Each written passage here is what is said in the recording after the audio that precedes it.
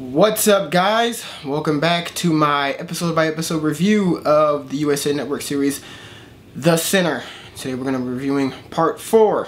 Will YouTube let this video stay up? I don't know. We'll just have to see. So before I get into uh, the main storyline of this episode, I'm going to talk about the flashbacks and the side stories first. So in the main flashback in this episode to when they were younger, Cora and her sister Phoebe, we see that uh, Phoebe is, um, she's very perverted. Like, really? Really? Perverted.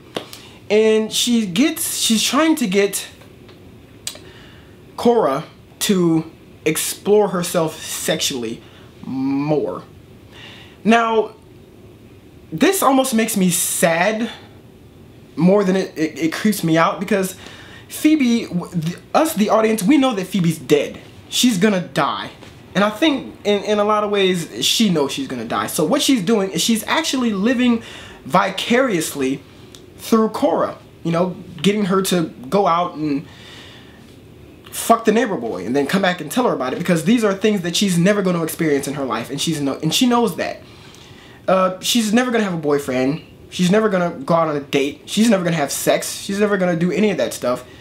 So it kind of makes me pity her more than it does, you know, makes me think of her as, you know, simply a young creepo.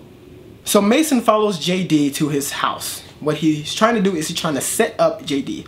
What he does is he turns on the recorder uh, on his phone and he records himself buying drugs from JD's girlfriend slash wife. I don't know. And that backfires when uh, she texts JD and JD says, I don't know who the hell this guy is, tell him to get the hell out of my house.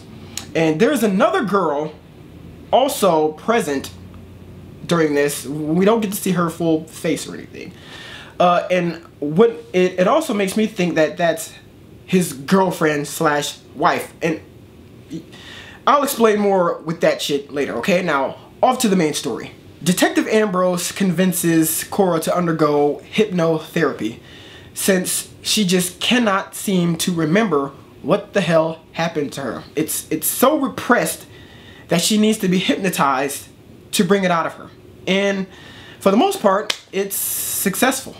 We finally get a name to the face. The face of the woman who's always in the flashback asking Cora, are you coming? This girl's name is Maddie.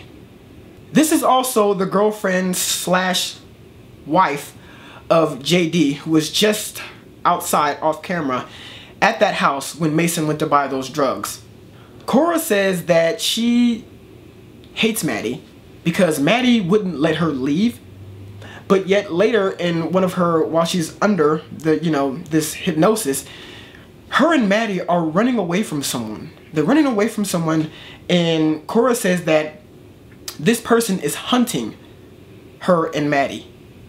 Every time Cora was under hypnosis, she for some reason would always flash back to this moment when she was a little girl missing the bus. Now, when we're first seeing this, we feel that it has no significance whatsoever, but it will, it has a meaning and it'll, and I'll talk about that in a second. Later, Detective Ambrose is hiking in the woods with his wife.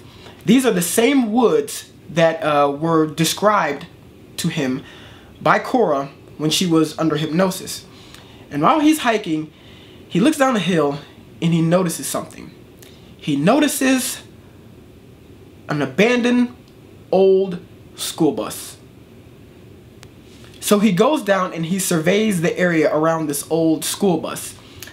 And he notices that there are mushrooms mushrooms growing in one particular spot and they're, they're not anywhere else except this one spot.